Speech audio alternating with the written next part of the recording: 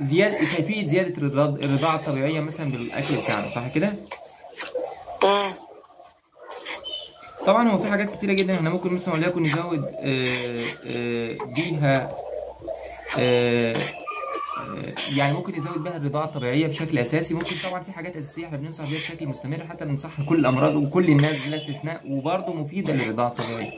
بنتكلم مثلا وليكن إحنا عايزين بنتكلم عايزين يبقى عندنا رضاعة طبيعية. بنقول من ضمن الحاجات الأساسية بنتكلم عن شرب الميه لازم نبقى عارفين إن 70% من الجسم بتاعنا ميه 90% من الدم بتاعنا ميه 70% من العضلات بتاعتنا ميه 70 آه، 63% من الجلد والبشرة بتاعتنا ميه 23% من طب لو حد بقى بيشربش المية دي باستمرار تسلم إيدك يا شاعر.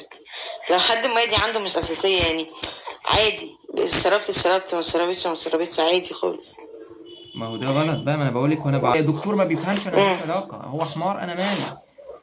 آه، يعني إيه ما في ليس هناك بديل لشرب المية يا جماعة ليس هناك بديل لشرب المية ليس هناك بديل لشرب المية. يعني ما فيش حد يقول لك أنت أنت أنت بتشرب ماشي.